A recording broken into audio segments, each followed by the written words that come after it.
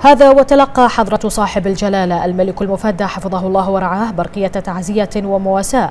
من أخيه سمو الشيخ نواف الأحمد الجابر الصباح ولي العهد بدولة الكويت الشقيقة.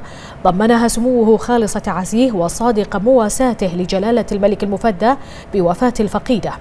وتلقى جلالة الملك المفدى حفظه الله ورعاه برقية تعزية ومواساة من أخيه سمو الشيخ جابر المبارك الحمد الصباح رئيس مجلس الوزراء بدولة الكويت الشقيقة. داعين الله جلت قدرته أن يتغمدها بواسع رحمته ويسكنها فسيح جناته.